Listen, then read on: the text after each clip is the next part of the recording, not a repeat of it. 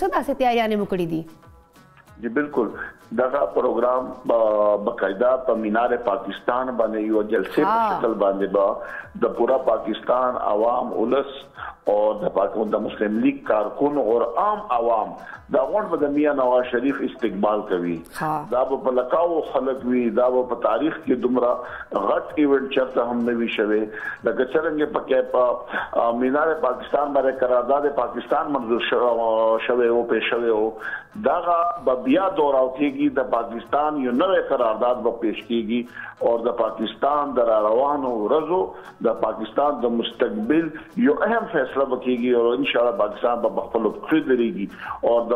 تورو شپو نه به رڼا د میا محمد نواز شریف راباسی.